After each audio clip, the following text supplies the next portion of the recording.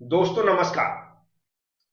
आज का सब्जेक्ट है मेजरमेंट्स एंड मेट्रोलॉजी जिसके अंदर आज हम लोग समझेंगे two coil self inductance transducer इससे पहले मैं ट्रांसड्यूसर का introduction classification and piezo electric transducer समझा चुका हूँ। उन वीडियो को ज़रूर देख लें। तो आज का भी टॉपिक समझने के लिए वीडियो पूरा देखें। जो यहाँ पर मैं समझाऊँगा, उसको भी आपको ध्यान से सुनना है और समझना है। तो चलते स्टार्ट करते हैं।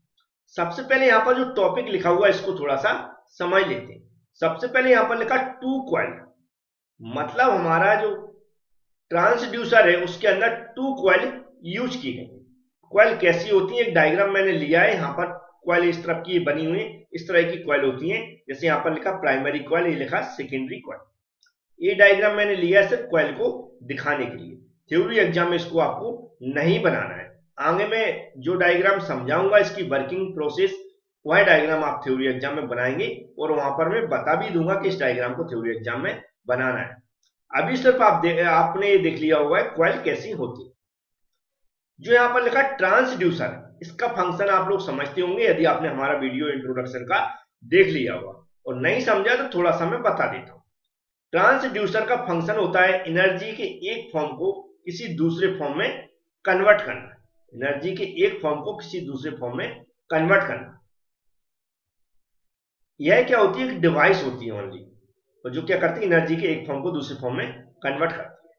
तो ये जो डिफरेंस टाइप्स के ट्रांसड्यूसर होते हैं, उसमें से एक आज हम लोग समझेंगे सेल्फ इंडक्टेंस ट्रांसड्यूसर इसको जो डिफाइन किया गया, यह जो वर्क इसकी जो वर्किंग होती है, किस प्रिंसिपल पर आधारित होती है, उसके आधार पर इसको डिफाइन किया गया।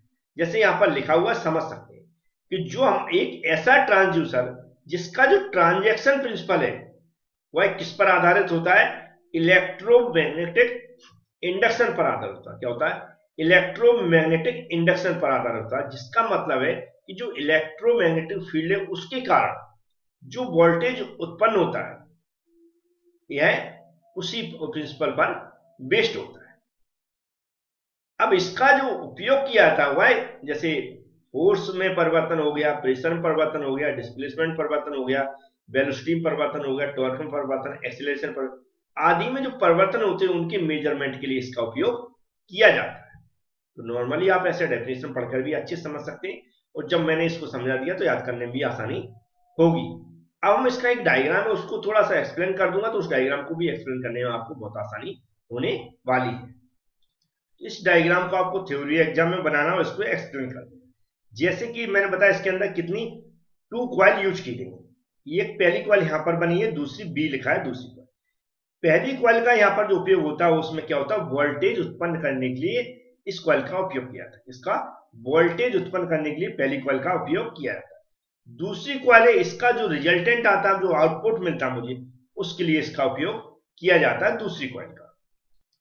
यहाँ पर नेक्स्ट क्या लगा हुआ आर्मेचर मूवमेंट लगा हुआ है। आर्मेचर नेक्स्ट मैक्सिमम आपने सुना हुआ है पढ़ा होगा, जो भी हमारा मैग्नेटिक फ़ील्ड जनरेट होता है, वहाँ पर जो इलेक्ट्रिक क्या होता है इलेक्ट्रिक करंट इंड्यूस होता है प्रोड्यूस होता है वही आर्मेचर कारण होता है। आर्मेचर एक इलेक्ट्रिकल डिवाइस है नॉर्मली बहुत सारे बार छोटे छोटे बाउंडेड रहते होंगे, आपने कभी देखा हो।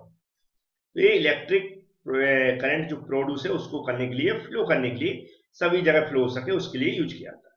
और इसके मूवमेंट के ऊपर, जो दोनों के अंदर जो यहाँ पर वोल्टेज प्रोड्यूस होगा, जो डिफरेंस होगा दोनों के वोल्टेज में, वह इसके मूवमेंट के ऊपर ही डिपेंड करता है आर्मेचर की मूवमेंट यहाँ पर मान लो मुझे किसी वेलोसिटी निकालना है एक्सेलरेशन निकालना है तो इसके गैप के ऊपर एयर के गैप के ऊपर डिपेंड करता है।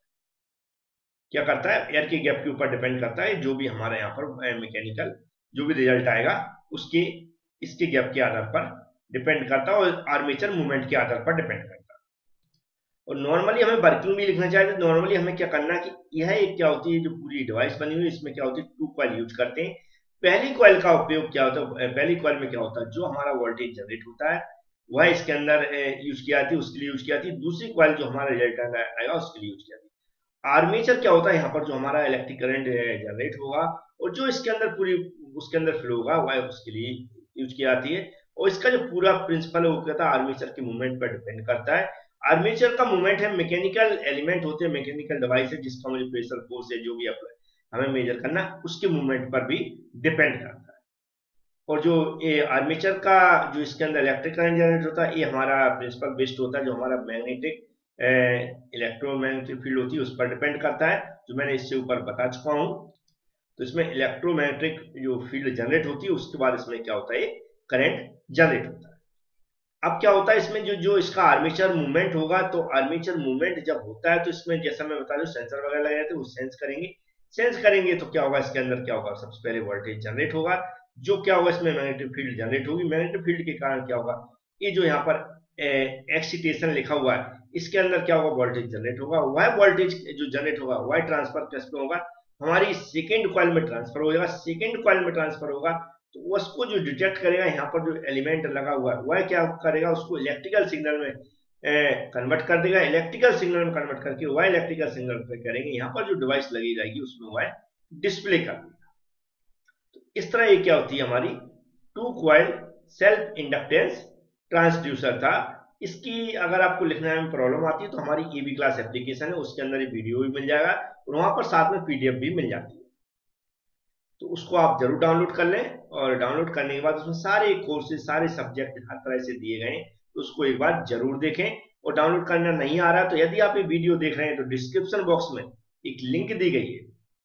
उस लिंक के, के थ्रू आप वीडियो देखें। उस वीडियो को देखने के बाद आपको पता चल जाएगा एप्लीकेशन कैसे डाउनलोड करनी है और कहाँ पर इसके कोर्स मिलेंगे।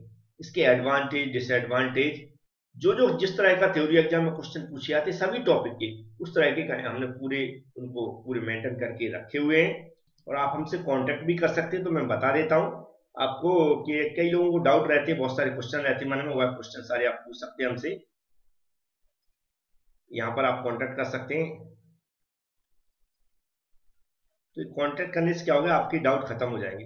बहुत सारे डाउट थे जो मैंने पहले भी बता चुका हूँ, जैसे कि जो कोर्स के बारे में पूछते हैं सभी, कि कोर्स की वैलिडिटी क्या है। तो ये वैलिडिटी लाइफ टाइम है, कोई प्रॉब्लम की बात नहीं। और बहुत सारे वीडियो या फिर पीडीएफ अभी जो कंटिन्यू में पढ़ाता रहता हूँ वैसे वैसे अपलोड करता रहता हूँ क्योंकि जब आप उसको सब्सक्रिप्शन ले लेते हैं तो हमारी फ़र्ज़ बनता है उसका पूरा सिलेबस करा तो कंटिन्यू वीडियो अपलोड करते रहता हूँ पीडीएफ अपलोड करता रहता हूँ तो आप उसके इस, ऐसे क्वेश्चन से आप बिल्कुल परेशान ना हो कि सर ये आप कोर्स करवाएँगे कंप्लीट या नहीं करवाएँगे, या फिर जो लॉक लगे हुए अनलॉक होंगे या नहीं तो सारे लॉक अनलॉक होंगे, उससे भी आप टेंशन फ्री जाए।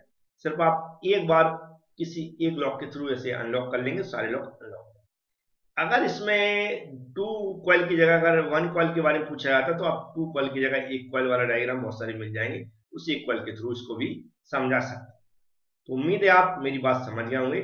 Thank you friends